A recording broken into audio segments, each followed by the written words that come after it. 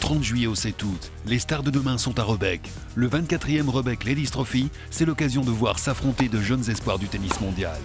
Justine Hénin, Els Callens, Kim Kleisters, Amélie Mauresmo, Janina Wickmeyer, toutes ont un jour participé au Rebec Ladies Trophy, l'une des rares épreuves belges du circuit professionnel mondial. Chaque soir, dîner, spectacle et soirées dansante. Grande finale le dimanche 7 août et feu d'artifice en apothéose.